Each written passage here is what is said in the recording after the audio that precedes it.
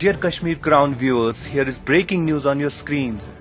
A gunfight raged after government forces on today morning cordoned off Padgampur area of South Kashmir, Awantipora, to conduct search as they suspect presence of some militants.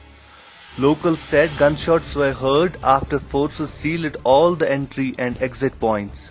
Sources are also telling us that two to three militants are believed to be trapped inside the area.